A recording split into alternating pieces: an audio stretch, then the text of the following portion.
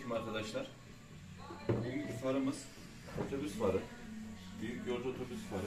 Ee, bu şekilde deforme olmuş. Bayağı bir kirlenmiş. İç mercekleri yanmış. Tamamen ışıtmaz hale gelmiş.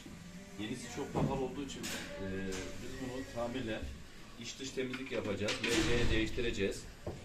Yeni bir far haline getireceğiz ve tekrar kullanılacak. Arkadaşlar farımızın camını çıkardık bu şekilde. İç merceğini söktük. Yansıtıcı merceğini. Görmüş olduğunuz gibi tamamen yanmış. Ee, normalde şöyle parlak olması gerekirken yansıtıcı kromu olması gerekirken tamamen deforme olmuş. Biz bu merceğini değiştireceğiz. Bu şekilde. Camını iç dış temizleyeceğiz. Tamamen parlatacağız. Yuvalarını ayar yerlerini çalıştır hale getireceğiz.